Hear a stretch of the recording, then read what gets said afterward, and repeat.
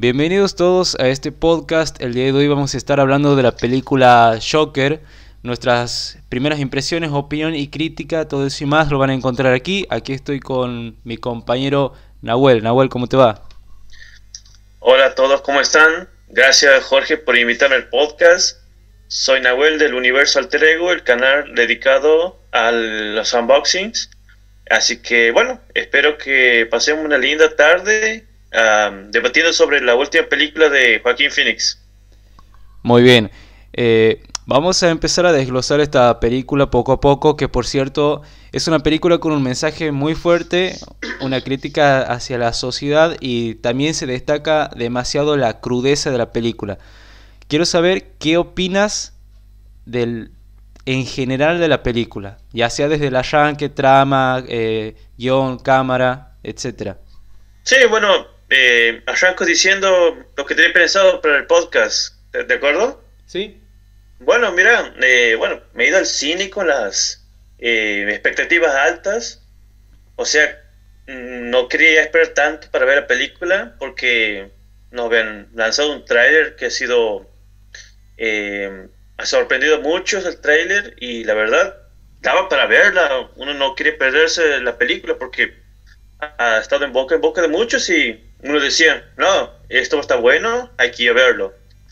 Eh, bueno, temía ser spoileado por Facebook o Instagram, así que no veía la hora de ver la película. Así que simplemente un día después del estreno, que ha sido el 3 de el 3 de octubre se ha estrenado, pero yo me he ido el 4 de octubre, me he ido tranquilo al cine. Y bueno, sabía que ya había habido una crítica que había dicho que estaba buena la película. Me he ido contento, bueno, espero encontrarme con la buena crítica, con la buena película, tal como dice la crítica. Y la verdad, no me he decepcionado la película. Eh, ha cumplido con lo que prometía. Eh, es, una, es una película que dentro del, dentro del género que se da, el, el género que utiliza, que es el drama y el suspenso, funciona bien. 10 puntos. O sea, tiene todo bien la película. Más allá de que tal vez haya alguna cosa como sabe, ya le he dicho algunas veces, no todas las películas son perfectas, siempre hay alguna cosa mala, pero creo que esta, todas las mayores cosas también, tanto la ambientación de los 80, eh, porque la película está ambientada en los 80, año 1981 creo que se da, el vestuario también para la época está perfecta, las expresiones del actor Joaquín Phoenix que se roba en la película, realmente el laburo que ha hecho a interpretar el personaje de Arthur Fleck eh, son geniales, realmente cumplido con, con lo que se pensaba, ha hecho un, personaje bárbaro, Arthur Fleck, ah, perdón, Joaquín Phoenix. Ya se está hablando mucho de, de que le den el Oscar en las próximas, las próximas entregas de los premios. No, hay que ver también que tal vez hay otra película, pero por el momento eh, es se está hablando de, se está hablando de cómo actuó Don Shocker. Genial. Eh, había también buenas escenas de la ciudad de Gotham City desde arriba. Eso me gusta mucho. Sí, eso también te iba a decir. Me, me gusta mucho cómo se veía esa ciudad. Lo, no tan solo la vida de, de, de, Arthur Flex, sino también cómo se moviliza la ciudad. Es una ciudad tranqui, es una ciudad, eh, qué sé yo, oscura, cómo era la ciudad, veíamos los edificios, los trenes, cómo era el, el, tren subterráneo, veíamos cómo estaba el contexto que se vivía en la ciudad de Gotham. Y bueno, me, me gustado mucho eso. Eh, claro, la película, la película empezó sí, lenta, para que conozcamos bien el personaje de Arthur Fleck. Empezó lenta, bien, me gustaba así. Y bueno, después eh, empezó el misterio de quién es realmente Arthur Fleck, sí, de dónde viene. Eso es algo que me ha gustado. Pegó bastante. Eh, yo lo, pensaba cuando veía la película de que han jugado también con el personaje porque te ponen, eh, digamos, no te establecen un origen fijo y creo que es la maravilla del personaje porque te ponen de momentos, che, quizás el tipo es hijo de Thomas Wayne de estas te dicen no, pero el tipo es adoptado, este, y inclusive su, el nombre asignado a Arthur Fleck ni siquiera es su, su nombre real, Pero también Más misterioso lo hace el personaje todavía. Sí, también está la, la posibilidad de que, o sea, las alternativas son varias, porque yo pensaba, este, bueno, quizás este sí es él un producto de una violación entre Thomas Wayne y, y su madre, pero Ujú. quizás el tipo también, y tampoco hay que, hay que buscarle mucho la vuelta, un tipo que tiene tanto poder adquisitivo tranquilamente puede falsificar una documentación, hacer pasar porque el tipo es adoptado y encima agregar que la madre está loca. Que era la interpretación de cualquiera cómo puede haber sido realmente el nacimiento de Arthur Fleck. Si realmente podría ser el medio hermano o hermanastro de, no sé cómo decir, de, De Bruno. de Bruce Wayne. Sí. Ajá, de Bruce Wayne. Y, o si no, realmente es un chico adoptado por una mujer que ha estado loca. O sea, te deja con esa duda la película. Nunca lo sabremos. Depende de cada uno cómo quiere interpretarlo. Si Sí. Thomas Wayne que, que ha falsificado todo eso. O si realmente es un chico que ha sido adoptado por una mujer. Una mujer, una psicópata. Claro, ta- también este veía declaraciones del director que el tipo prefiere no decir nada y que saquemos cada uno nuestras conclusiones. O sea, deja todas las puertas abiertas para que como espectador veamos hacia dónde puede apuntar la película y creo que la, la jugada esa está más que bien, está muy bien pensada. Sí, me pareció muy, bien. Me pareció muy buena la idea. No, no, no te dice, "Bueno, listo, se cierra aquí toda la historia del Shocker. Y no, te deja con algunos cabos sueltos para que cualquiera quiera interpretar a su manera. Depende de, de su punto de vista. Sí, Así que, vos, vos como sabés uno desea. Como uno sabés- desea. Claro, vos sabes que eso de, de dejar a la interpretación de uno me recuerda bastante a cuando he visto la trilogía de, de Nolan y cuando veo la última escena, este, realmente el final está abierto porque no sabes si Alfred se ha imaginado que el tipo estaba sentado ahí con su pareja tomando un café o si realmente es una alucinación de Alfred. Y aquí también se juega con mucho con la alucinación porque te- no sé si recuerdas la escena en la que veíamos al Shocker, quien aparentemente tenía una relación eh, un poco más cercana con su vecina. Sí, Que sí. Desde, su perspectiva lo veíamos así y más adelante nos enteramos con que realmente fue una alucinación. Sí, correcto. Veíamos las cosas desde su mente, como si fuéramos nosotros él, y en realidad después nos sacan en cara de que no, que es todo la imaginación del pobre tipo que sufre un trastorno mental que está mal, está mal, muy mal. Claro, y, bueno, volviendo con las declaraciones del director, eh, que el tipo dice, ustedes deciden qué es real y qué es ficticio dentro de esta película. Repito, muy buena jugada por parte del tipo, o sea, Todd Phillips se ha desubicado con esta película y también Joaquín Phoenix, que creo que nos ha entregado una de las mejores interpretaciones del Joker, que, o sea, la película va a dar que hablar, no solamente ahora, sino de aquí a unos años, porque eh, un personaje tan complejo, el tipo se supo preparar para su papel y la interpretación que nos da, inclusive hay, hay escenas en las que el Joker no dice palabras algunas, eh, lo que habla es el silencio, o lo que habla también es este su sus este, expresiones corporales, sus expresiones faciales que realiza alguna, en algunas escenas y dices, lo quedas mirando y dices, ¿qué es lo que va a hacer en el siguiente acto este tipo? Y yo realmente hay cosas que no me esperaba de la película. No sé si recuerdas la escena cuando su madre estaba enferma, que él la termina Sí. matando. O sea, eso yo, por ejemplo, lo he dicho en mi reseña, que era algo que yo no me esperaba. Yo me esperaba que la muerte de la madre sea una muerte natural o una muerte ya de una persona anciana y que eso sea el desencadenante para que el tipo se enoje y, y ya pierda los estribos. Y no, no ha sido así. Dato curioso con respecto a la muerte de la madre de Arthur Fleck. Sí, eh, Joaquín Phoenix había interpretado el papel de un, de un rey en Gladiador sí, sí y en esa película termina matando casi de la misma forma, no a su madre, pero sí a su padre, ahogándolo metiendo su cara, eh, haciendo que ponga su cara sobre su pecho y el padre tratando de liberarse, pero el hijo no lo, lo estaba apretando, estaba apretando la cabeza de su padre contra su pecho para que se ahogue. O sea, me dio muchas coincidencias, ¿eh? ¿Visto? Pero bueno, un dato curioso que quería aportar.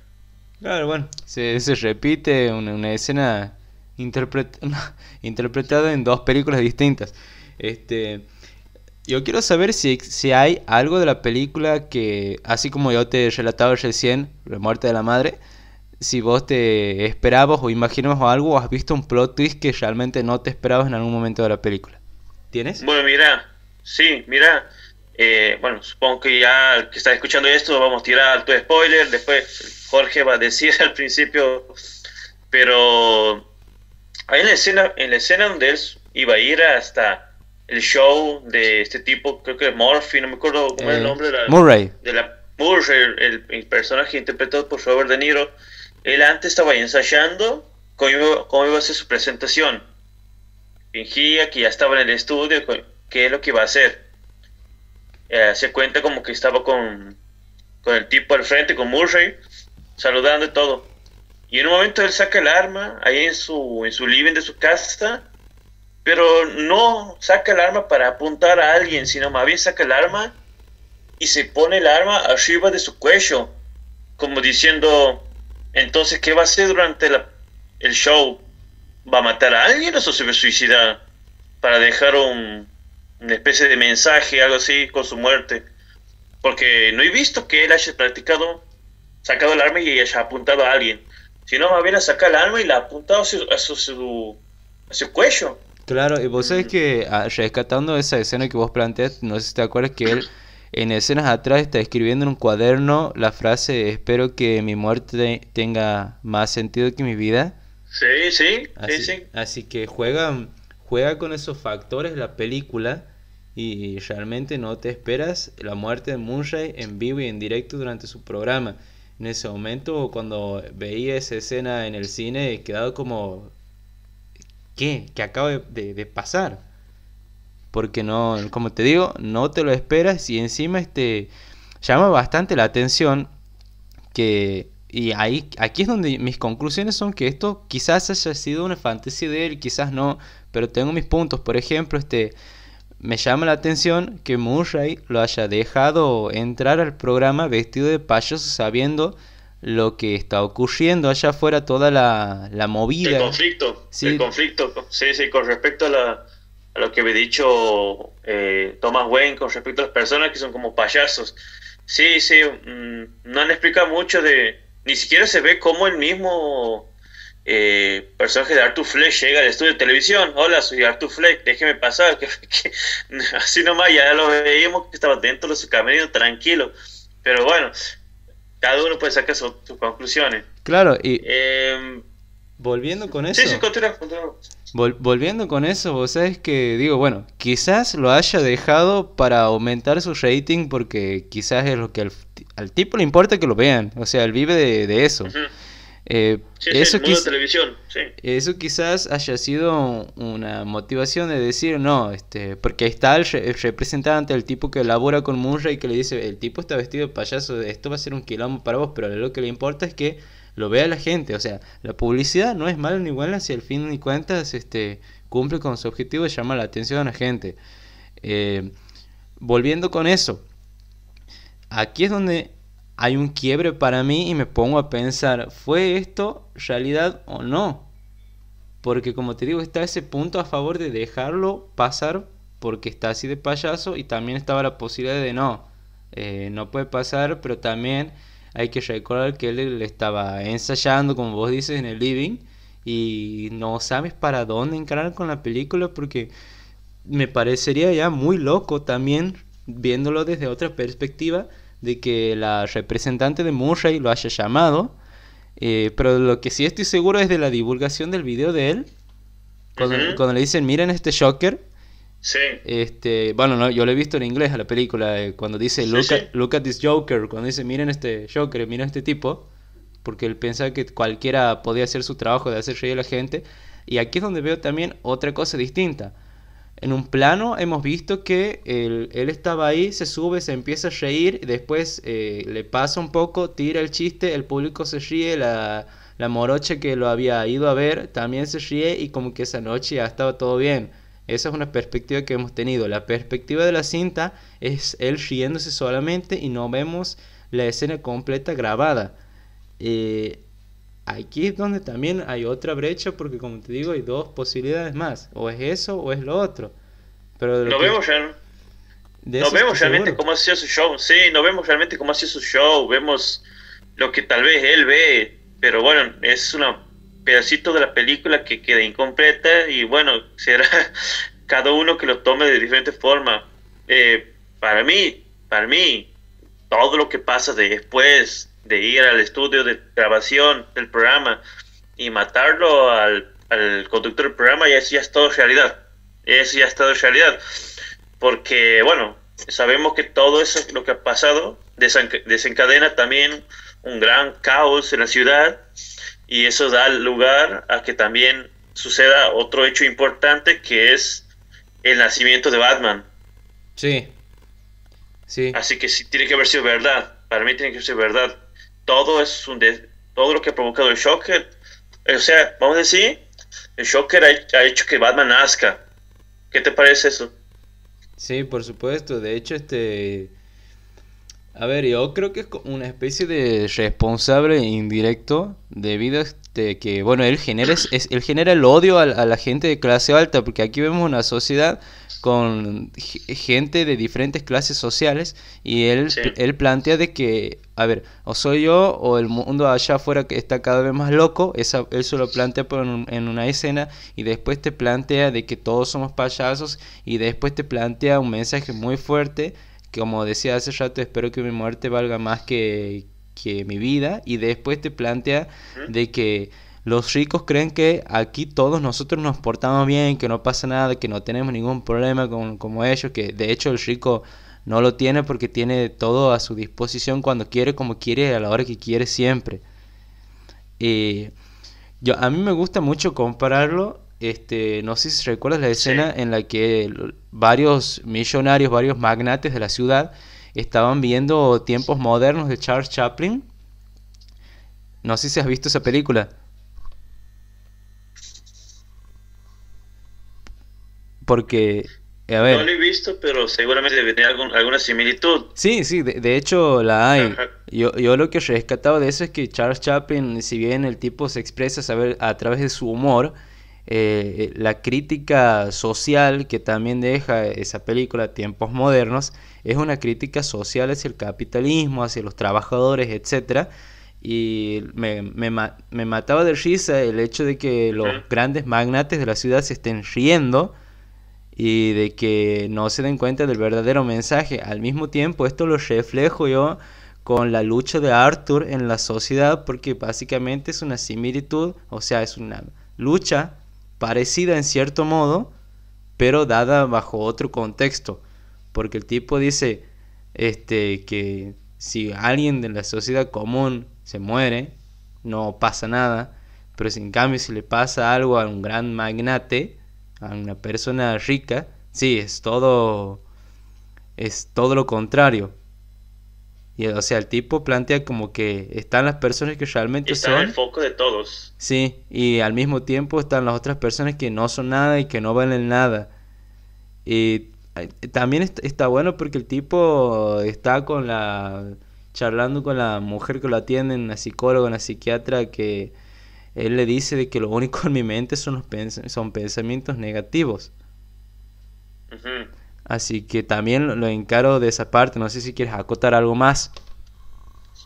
Sí, bueno, eh, vamos a decir que la película tiene críticas a la sociedad, como es la sociedad que vivimos, a la condición de vida del psicópata, que es el personaje de Arthur Fleck. Eh, bueno, tenemos que toda maldad tiene un origen y que, bueno, nos muestra la tragedia de la vida del protagonista. O sea, es un viaje a la mente humana de una persona enferma, la película del Shocker. Son temas de trastornos mentales y cómo también la sociedad te lleva a tomar distintas decisiones. Eh, ya vamos a decir como que empieza ya el personaje de, de Arthur Fleck. No le quiero decir Shocker porque hasta el final vamos a decir como que se convierte en Shocker. Claro. Pero bueno, sí, vemos a, como el personaje de Arthur Fleck ya empieza mal cuando lleva ya el, el revólver a, a, su, a, la fiesta, esta fiesta que está organizando para los chicos en el hospital, ya empiezan ahí las cosas mal, los primeros conflictos. Y también el otro conflicto importante, otra cosa importante que le pasa es que deja de, también ya de tomar sus medicamentos. ¿Por qué pasa eso? Porque servicios sociales, la mujer que la tiene en servicios sociales, ya le, le estaban haciendo un recorte de presupuesto. Y... Sí. Eh, pero, a ver. A... Ya no le van a dar más su, su tipo deja de tomar su medicina. Sí. Eso sucede ah. y, y al, al, algo que, antes de que me olvide, disculpa que te corte, eh, no sé si has visto que sí. en una escena él exige más dosis y en otra escena él dice, no, ya me siento mejor porque no las estoy tomando. Ya casi para el final. Sí, creo que sí. Dicho sea de paso, y también vemos la... Ahora, ahora que has mencionado el, el tema de, de, la pistola, uh -huh. de que recuerdas que un compañero de trabajo como que no se la ha vendido, sino como que le ha dado en la mano y ha dicho, págame cuando puedas. O sea, el tipo ni siquiera tenía intenciones de comprarla. Y después lo, cuando termina tomando una tijera de esas antiguas y lo utiliza para apuñalarla. Sí, eso, sí. eso, a ver, yo no sabía si va a suceder o no, o si va a amagar con que lo iba a hacer, porque es un tipo de, del que vos, a ver, no sabes cuál va a ser su siguiente jugada, por eso eso también no es algo esperaba. que te atrapa, ¿no? No, no esperaban, no esperaba que aparezcan esos dos personajes, es compañero de trabajo de él ahí en su, en su apartamento, la verdad, no, no sabía qué iban a hacer. Yo digo, van a llegar, le van a hablar y se van a ir, pero la, la acción de Arthur al matarlo a, al tipo que le quería vender el alma, que creo que se llamaba Randall, si no me equivoco, sí. eh, me sorprendió. No me imaginaba que lo terminaran matando de esa forma tan horrible. Eso sí me sorprendió a mí. Bien, es eso por un por un lado, ¿no? Eh, uh -huh. algo, algo, que yo todavía no, no, no estoy seguro, no es mi interpretación también. Corregime si me equivoco o decime si, si se te viene o no a la mente. En cierto modo, eh, el enano, ¿no crees vos que sea una referencia a Gagi? Que era un compañero de Shocker en los cómics. No, me has matado con, me has matado con ese personaje. Disculpa, desconozco ese personaje. Gagi. Sí. Eh, es, es, ha sido un, un, un, compañero de él como un onda sidekick, así como han tenido los superhéroes su, sus compañeros. Uh -huh. Bueno, eh, porque casualmente en la película es un enano y casualmente ese sidekick que ha tenido también era un enano. Que también andaba así como en, en la onda de los payasos y eso. Pero después hay, hay, otra referencia que cuando veía la película se me ha venido a la cabeza, este, que es una referencia a Flashpoint Paradox o Paradoja en el Tiempo. Ajá, sí, eh, sí, lo he visto. Cuando, bueno, no sé si se te hace una referencia clara cuando eh, lo van llevando él, después del asesinato de Murray en vivo, lo llevan ya preso. Y... Sí justo... Lo un... llevan en el auto de policía, te sí, sí, y en el momento exacto en el que lo choca con ambulancia y es, libera, es liberado, digamos, por uno de sus seguidores, de, vestido de payaso obviamente, y nos damos que le dicen, levántate, levántate, le dicen así, y ya el tipo se levanta como un símbolo para todas aquellas personas que se sienten identificadas con su ideología, y de paso se dibuja una sonrisa con su propia sangre. Porque el tipo anteriormente estaba diciendo no he tenido un segundo de felicidad en mi vida. Y aquí es donde vemos que consigue su cometido de ser feliz y ovacionado por la gente. Buscando esa aceptación que por lo menos desde el punto de vista del comediante no lo ha conseguido. Pero aquí ya está consiguiendo algo más que un simple stand-up en un bar de comedia está consiguiendo la, la, aceptación de toda la sociedad que apoya lo que él está pensando y que encima le dibuja una sonrisa en su rostro representado por la sangre misma.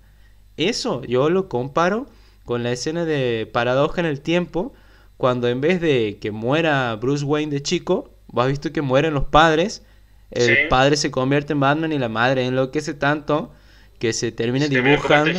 Sí, y, me, y, lo que me, ha gustado es que se dibuja una sonrisa con la sangre de Bruno ya muerto ahí en el suelo. Teniendo esto como, eh.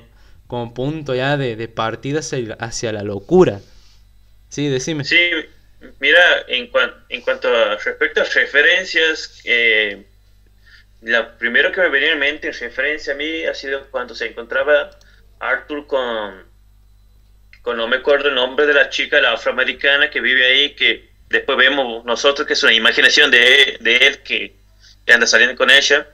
En el momento la chica se pone los dos dedos de la mano en la sien de su cabeza y simula como que es un arma y se dispara. Eh, eso me acordar rápidamente a la película Taxi Driver, que también el personaje de Robert De Niro, interpretando a un, a un ex militar, también hace esa escena cuando está a punto de morir. Bueno, en realidad no está a punto, no está, a punto de morir, está herido ya finalizando la película de Taxi Driver. Hace lo mismo. Porque también esta película de Shocker está, eh, toma algunas cosas de Taxi Driver, la película de los 70, dirigida por Martin Scorsese. También es un tipo que se siente solo en el mundo, que no tiene nadie, que siente como que no está entrando en la sociedad y también toma decisiones impulsivas y va más a la violencia, por lo que también, eh, por, lo que, por lo que vamos a decir, el Taxi Driver y Shocker son, tienen algunas cosas similares. Bien, eh, ah, algo que, me olvido de mencionar hace un momento. ¿Vos qué crees que estaba por decir al, final el Shocker? ¿Has visto cuando él ya mata a Murray y toma la, la cámara y van directamente a corte. Me ha llamado la atención que no han ido a corte, sino hasta último momento. No sé si te ha parecido eso curioso. La verdad no, no sé, no, no me no. Recuerdo que sí, la a terminar rematando con otro disparo más. Como no hubiera muerto ya el personaje de, de, de Murray, de Robert De Niro, le termina matando, termina disparando otra vez, Shocker. Y sí, se acerca a cama, pero no recuerdo, no sé qué puede haber dicho. Puede haber dado un mensaje ya diciendo, por favor, todos salgan a, a provocar caos en la ciudad, quién sabe. Pero más o menos eso puede ser que se ha dicho. Claro, este... A ver, yo... También es un giro de tuerca que un tipo que él admiraba tanto y que a veces se imaginaba que estaba con él en el programa al principio de la película termina haciendo eso porque cae en cuenta de que realmente el tipo lo ha llamado para hacer rating porque el tipo eh, se estaba burlando de él y en consecuencia como es un tipo que es tan influyente en consecuencia hace que los demás se burlen de él sobre que ya encima se le tiene que agregar el simple hecho de que a él en el trabajo, en la vida, en sus cosas, no le iba para nada bien. También estaba el, hecho, frustrante de que cada vez que él llegaba a su casa, eh, la madre le preguntaba este, si ya le había contestado Thomas Wayne las diversas cartas que le había mandado, porque fue una mujer que ella misma declara de que había trabajado años para él pero después de la revelación de la, de la adopción de él y las demás revelaciones y del origen incierto que hablábamos hace un momento, te pone a pensar, también es otra cuestión ¿no? que pienso, ¿será que realmente ha trabajado para él la mujer? ¿O en su locura Thomas supo aprovechar de que, no sé, quizás eh, sí, eh, la violó o algo, o quizás la agarró como cualquier mujer que pudiera agarrar un tipo con, con tanto poder en, esa ciudad y la hubiera dejado por ahí. O quizás no, o quizás le hizo creer que trabajaba para él, o quizás no. O sea, como te digo, este también si lo ves desde la perspectiva de él, lo ves desde la perspectiva de la madre, lo ves desde la perspectiva de, de Thomas Wayne, eh, hay muchos cabos sueltos, pero quizás uno que sea a lo mejor una pequeña posibilidad es de que quizás este sí sea un medio hermano o no de Bruno, porque no sé si recuerdas la escena en la que él pasaba por el frente de la casa con, con la nariz de payaso y le hace unos trucos de magia a Bruno que estaba ahí. Eh, uno de los guardias de la casa le dicen, ah, con que tú eres el otro hijo, vos sos el del que no tiene que enterarse nadie, o sea, también ahí se apoya, hay una teoría de la cual uno, hay algo de lo que uno se puede sostener para decir, aquí hay un puntito a favor de que quizás sea hijo de este tipo y que irónicamente un, hijo abandonado ha, ocasionado que su, su, figura de ser alcalde sea opacada, que la frase de que les parece unos payasos los que están en la sociedad también se ve opacada y que haya un, un caos en la ciudad también por culpa de algo que supo hacer hace unos años atrás. Eso también es una posibilidad, pero eso es lo que pienso por un lado. Por otro, no, como que no quiero fiarme o confiar en, en, la historia que cuenta un tipo con problemas de salud mental, porque no, no, me puedo confiar al 100% de lo que está contando. Porque en momentos vemos alucinaciones, cosas que no están en la realidad de una eh, ciudad ficticia, de una película ficticia, hay cosas que lo están y hay cosas que no. No sé si te habías dado cuenta de eso. Eh, mira, hay muchas, muchos cabos, como he dicho antes, hay muchos cabos sueltos. Una cosa dice en el momento, otra después se contradice. No, que en realidad tu madre, tu abuela decía a Arthur Fleck, tu madre estaba loca, realmente vos has sido adoptado. Y también Arthur que no se la cree. Después investiga que resulta que sí ha sido adoptado y que su madre sí estaba loca. Eh, puede quedar sí o no, depende de cada uno. Yo la verdad me quedo con el de que simplemente el tipo se ha adoptado, que, que la madre era una mujer salvaje que no estaba en, sus cabales y que ah, empezó a inventar cualquier cosa con tal de llamar la atención a Bruce Wayne, a, perdón, a Thomas Wayne. Que puede, y, bueno, utilizar, que puede ser cierto, ¿no? Puede, sí, puede. Ser cierto. Porque... Y bueno, después está el tema ahí, como decía vos, puede ser que el mismo eh, eh, Thomas Wayne, con la plata que tiene y la influencia que tiene, haya alterado todos eh, los datos de de, la, de la adopción, que realmente sí ha sido adoptado. ¿Quién sabe qué puede haber hecho Thomas Wayne? Todo deja libre interpretación en cada uno. También este hay un punto a favor que juega que eh, se establece en un momento de que algo que también... O sea, hay cosas que eh, se, se, sustentan para que puedas crear una cosa, pero inmediatamente se caen. Por ejemplo, el tema de la adopción eh, se sustenta de lo que decimos de la influencia del tipo. también la, locura de la madre se sustenta de otro lado y también vemos, no, no, sé si la escena, no sé si recuerdas esta escena, cuando él estaba leyendo los papeles de adopción que no sabemos si son reales o no, de que había un informe de que el tipo eh, durante su infancia, las diversas parejas que tuvo su madre, que no sabemos tampoco si realmente es su madre, lo habían golpeado, habían abusado de él, de hecho la gente de, de no sé qué calificativo tiene, creo que es un agente social que lo va a visitar, lo encuentran a él atado a un calefactor o algo así, y que vivía en condiciones deplorables, un montón de cosas más que también te dejan pensando, o sea, cada cosa que le pasó al tipo lo ha ido traumatizando cada vez más. Y bueno, a pesar de eso el tipo eh, no lo ha canalizado de la manera en la que uno lo esperaría, sino que como que ha intentado salir adelante porque a ver, yo lo veo al principio de la película que es un tipo que intentaba luchar y salir adelante y que de hecho el tipo tenía buenas intenciones que era de hacer reír a, la gente, de poner una sonrisa a la gente, de transmitir un mensaje positivo para que al final eh, la sociedad lo pisotee y lo termine convirtiendo en lo que es un tipo mentalmente inestable con todas las malas intenciones del mundo. Pero sí, bueno, es, El tipo el tipo tiene un problema y sabe, sabe que tiene un problema y que no se puede, sabe que no se puede sacar el problema, pero aún así una persona que se levanta todos los días y quiere seguir viviendo la mejor vida que puede, trabajando, tratando de convertirse en un comediante, como dice él que es su sueño, buscar una sonrisa siempre. Y la, la lucha, es la eterna lucha de una persona con trastorno mental. Y la misma después sociedad, que también lo castiga.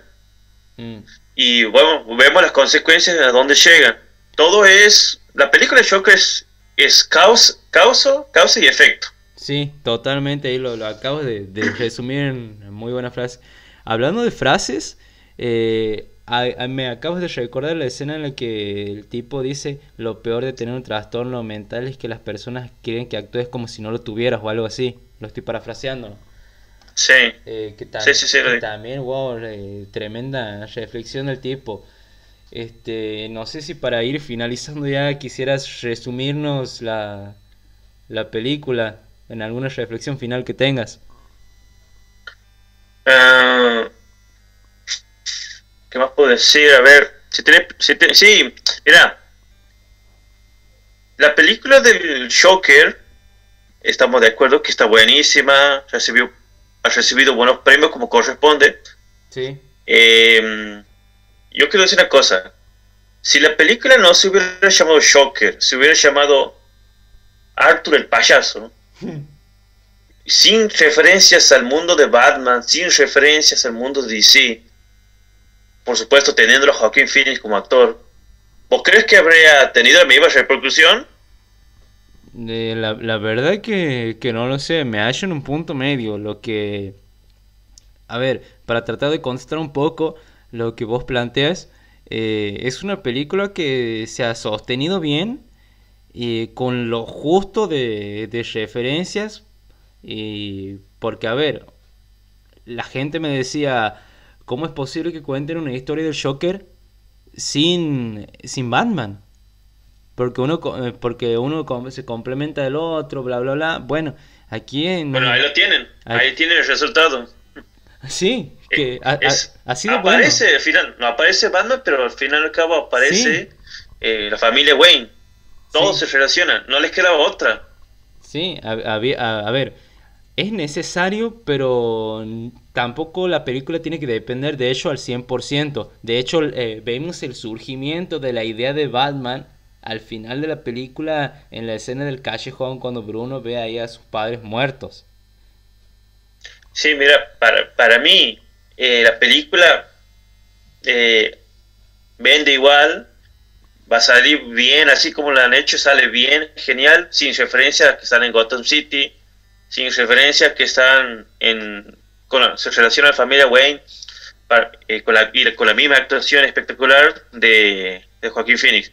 Pero bueno, siendo DC, siendo Warner Bros. la que produce, y teniendo en su poder DC Comics, bueno, vamos a hacerlo que se relacione con el Shocker y vamos a poner el nombre de Shocker Guasón, porque eso vende más, porque como siendo no Guasón, igual para mí la película queda perfecta. Vamos a cambiar el nombre de la ciudad, vamos a cambiarle el nombre a la familia, que no sea Wayne, que sea Johnson. Igual va a funcionar, para mí funciona igual, sigue dando el mismo mensaje.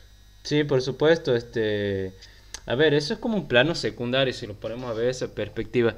Este, pero bueno, vos sabés que eh, se me acaba de ocurrir algo, ¿no? Eh, también es una interpretación mía. Ahora que hablábamos hace un momento de cuando Batman está ahí, perdón, cuando Bruno está ahí en, el momento en el que nace la ideología de Batman, cuando puede morir a sus padres, ¿no crees que el tipo que lo estaba cuidando a él y que se ha descuidado un segundo cuando retomando la escena en la que aparece Arthur queriéndolo hacer un acto de magia y hacerlo reír a la fuerza al chico, eh, ¿no crees que ese tipo haya sido una especie de, de Alfred o algo así? ¿O que... Sí, sí, sí, sí, él es Alfred, él es Alfred. Era Alfred. Era Alfred, sí, sí, sí, sí, sí. Perfecto, que... que... Alfred. Quería estar Alfred Pennyworth. Quería, quería, estar seguro de eso porque no, no sabía si realmente interpretarlo como un guardia de seguridad o si realmente era eh, su Alfred, el tipo, el tipo con el que ahora va a quedar. sí, no, totalmente seguro, Alfred Pennyworth, sí, sí. Ya está confirmado. Ah, Lo genial. que hace ya por último, y hasta por último, quiere decir que, ¿qué te parece? ¿Qué, ¿Qué opinas vos de esto, de la controversia que ha habido con respecto a la película? Que se hablaba de que en el país, en el país como Estados Unidos iba a haber una mayor seguridad durante la proyección de la película para que no suceda nada raro con, con lo que ha pasado hace unos años en The Dark Knight sí. Rises.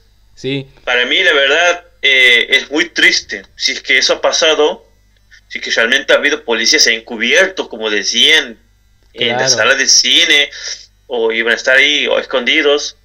La verdad, para mí me parece muy triste la sociedad en la cual estamos viviendo, eh, al menos en la de Estados Unidos, Sí. donde todavía tienen esa ley de cualquiera puede ir a comprar un arma en el supermercado como si fuera pan.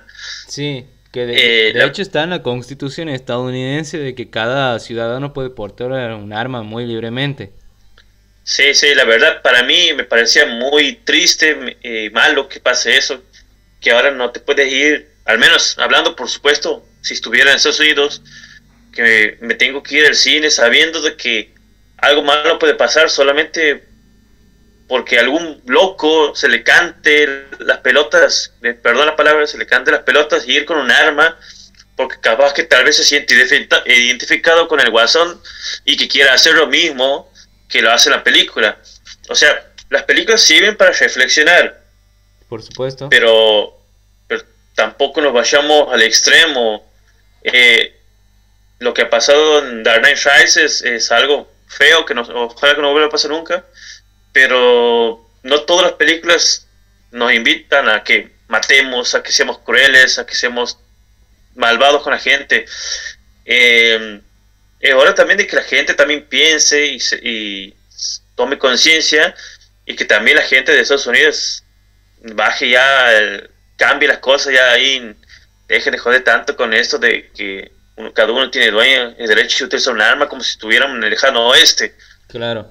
A ver, Por lo que, por lo que la película del Joker sí es una película violenta, tampoco el Joker se la pasa matando a cualquier, cualquier tipo que aparezca en el frente de él, claro. solamente, solamente le da la lección a los que él cree, considera que deberían morir. Pero tampoco el Joker se convierte en el asesino que mata a quien se le cante. Claro, de hecho no hay, no hay un abuso si te pones a pensar con respecto a eso porque al, al, elan- al enano lo deja vivo al final porque dice, vos me trataste bien. Sí, hay, algo de cordura después de todo. Sí, o sea, no, el, o sea, el tipo no está tan perdido como uno cree porque bueno, es la, es la transición en cómo llega a convertirse en el personaje como tal, pero retomando con lo que me decías hace rato, sí, este, eh, desmotiva bastante de que suceda esto en una película. A ver, la película, si bien es cruda, sigue siendo ficción y que la per- las personas no sepan distinguir eso y que vayan eh, influenciados ya desde una perspectiva mala para ver la película y que el desencadenante sea una masacre en un cine eh, que refleje de que, bueno, voy a, voy a parafrasear la película, el, mundo allá afuera está muy loco. Así que esa es mi postura con respecto a la película. Ah, Perdón, a la gente que concurre al cine. Otra de que si estuviera en Estados Unidos no me iría al cine. Preferiría esperar a verlo en televisión o, qui- o- o no sé.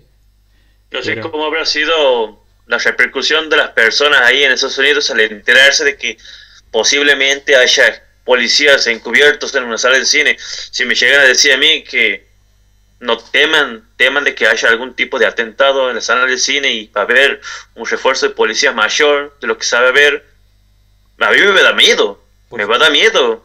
No, no, no voy a irme al cine en todo caso para no correr riesgo. Claro, no, bueno, la sala directamente estaría vacía.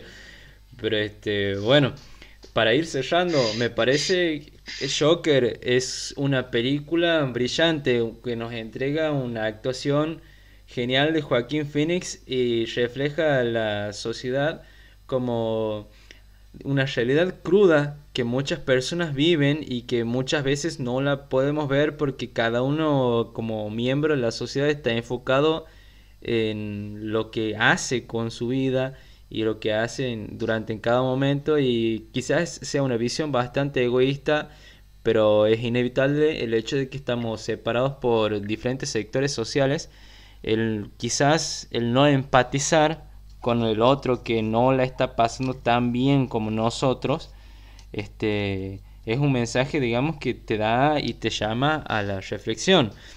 Pero bueno, en síntesis, en resumen, Joker es una película recomendadísima, muy buena, repito, es cruda, pero sin embargo el mensaje y la crítica social que nos deja nos invita a la reflexión. ¿Quieres agregar algo, Nahuel? Eh, simplemente que, bueno, la película toma, toma un tema incómodo, que son los trastornos mentales. O sea, si uno quiere ir al cine a buscar una distracción del mundo en que vive, distraerse un poco del trabajo, eh, la película no es para relajarse, el Joker no es para relajarse, porque más una película que te va a hacer reflexionar de la vida en que vivimos, a ver cómo, cómo la pasa mal algunas veces las personas que están enfermas, cómo te trata mal la sociedad, en un film oscuro y crudo. Así que sí, es la película de Joker es recomendable para que conozcas bien, te choques con la pared, sepas el lugar en que te encuentres en ese momento y muy filosóficas, diría yo, la película. Exactamente. Muy bien, este ha sido el podcast de Cultura Fantástica del día de hoy. Espero que lo hayan disfrutado y sinceramente un, un placer estar aquí con, con vos, Nahuel, analizando, eh, opinando, criticando esta película y haciendo observaciones de manera un poco más profunda. Este, de nuevo, gracias. De nada, Jorge, cuando quieras, cuando se pueda, volveremos por otro podcast en, en tu canal o en mi canal, como ustedes deseen. Y bueno, ya veremos qué otra película nos toca debatir. Bien, Será hasta la próxima, hasta el próximo análisis de otra película. Gracias por escucharnos. No se olviden de ver los otros podcasts que están disponibles en el canal. Suscríbanse, compartan y nos vemos en la próxima. Bye.